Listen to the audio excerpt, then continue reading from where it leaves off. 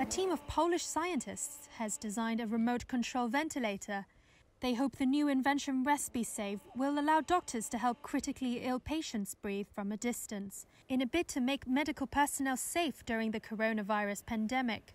Here's Lukasz Szarpak, the medical advisor on the project. Respirator RespiSave ma The dodatkową... RespiSave ventilator has an additional telemetry feature, which means the medical personnel don't have to be in constant contact with the infected person, which can be extremely dangerous for personnel, as was shown in China and Italy. Thanks to the telemetry feature, we are able to control the patient from any place in the hospital. And in an emergency situation, the ventilator can be adjusted so that the patient is ventilated properly.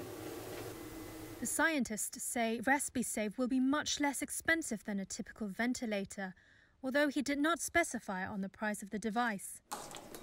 While the technology is still being tested, the team hope it would be available in Poland within the next few months and eventually on a wider global market.